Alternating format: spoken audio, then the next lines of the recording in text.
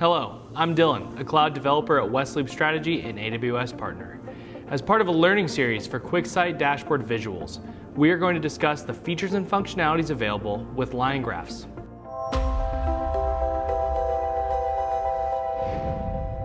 When building out visuals, often an important way to display a metric is by showing a trend so the viewer can understand the performance over time.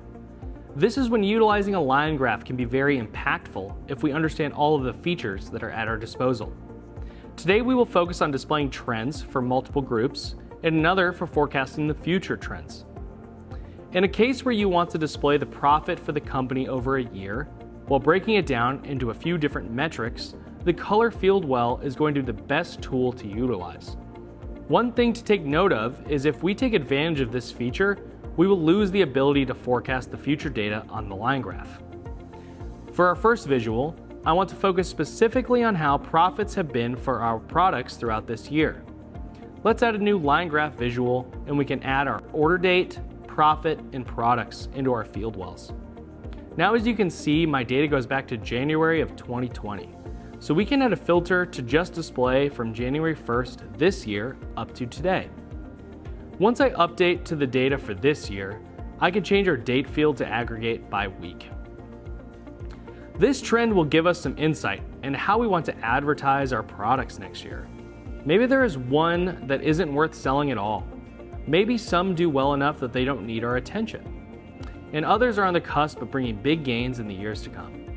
We want to use this opportunity to guide the reviewer to build the most efficient plan to improve profits by products in the coming year. Next, we can turn our attention to forecasting. Now that we can see our profits split up by product, let's create another line graph that will display our profits and sales over time.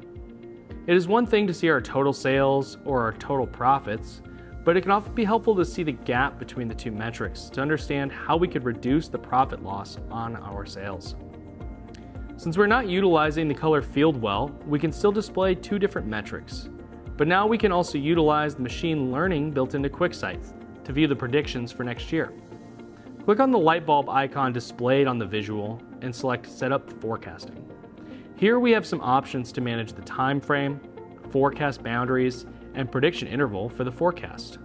To make it simple, let's build the forecasting model to show our trends for next year. I will simply change my period forward to 12 and hit apply. Now you can see the prediction trends for sales and profit through December 2024. This can help provide your company with goals for the new year to beat the prediction, and also provide insights into certain months of the year that have an expected lull in sales to improve budgeting for that time period. Thanks for joining today.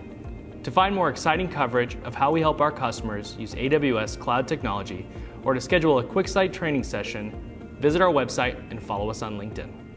Música